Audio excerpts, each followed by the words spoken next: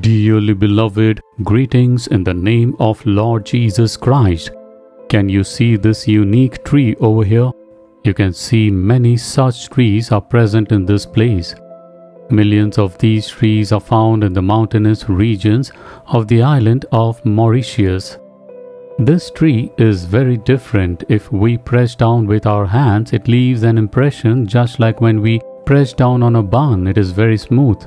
If you ask what is so different about this tree, they call it the paper tree. They peel its bark and make paper from it. Such trees are found in abundance over here. It is a useful tree. As we peel its bark, it regrow its bark. They make a lot of paper from it.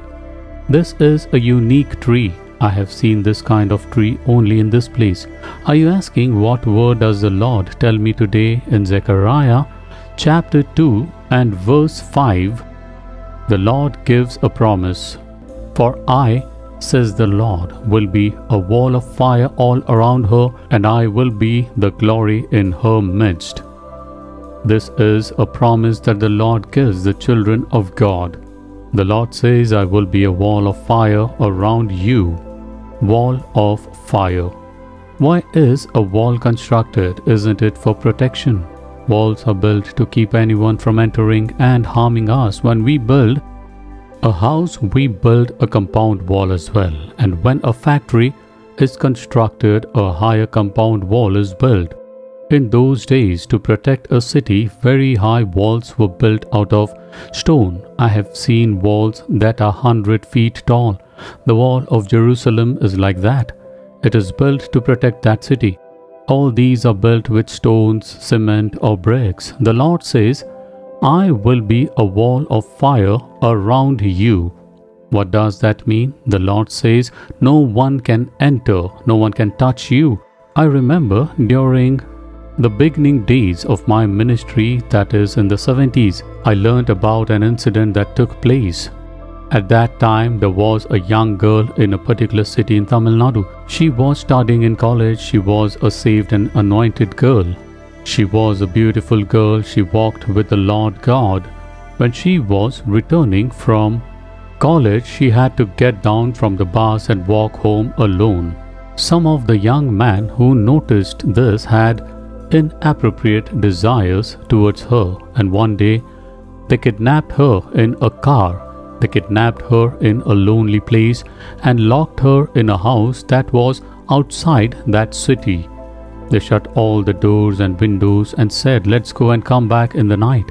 There were two, three young men. They locked this girl in that room with the wrong intentions. The girl saw that the windows and doors were completely shut.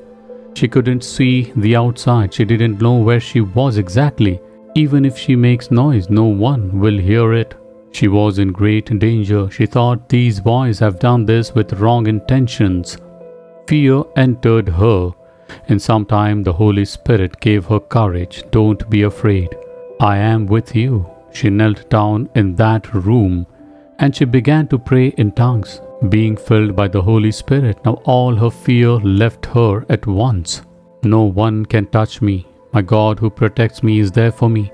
In the night, those young men came there, drunk and intoxicated, and opened the door. What they saw there made them tremble. They saw a fire burning around her.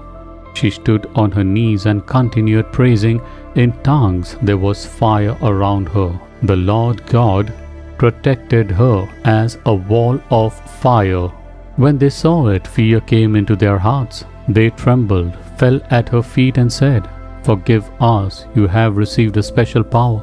We will take you back safely with fear and trembling. They brought her to the doorstep of her house and left. My dearly beloved, what I am saying now is an incident that actually happened. I heard it from a man of God who knew about this incident. This is true. Even today, the Lord is a wall of fire around his children.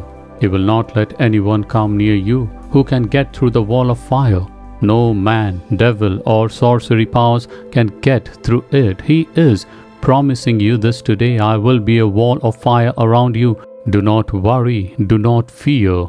Our good Lord God always keeps and fulfills His promise. So all you need to do is just say happily, Dear Lord, the world that we live in is filled with evil, jealous people, suffering, and affliction, but praise you for being a wall of fire around me and continuously protecting me.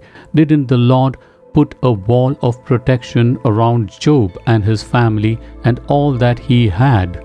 The Lord is like a wall of fire around your relatives, family, and everything else. Just give Him praise and you will see miracles. Dear Lord, you are a God who puts a wall of protection around us, our family, and all that we have. Praise you for your love that protects us with a wall of fire. Nothing can harm us. In the name of Lord and Savior, Jesus Christ. Amen. Amen.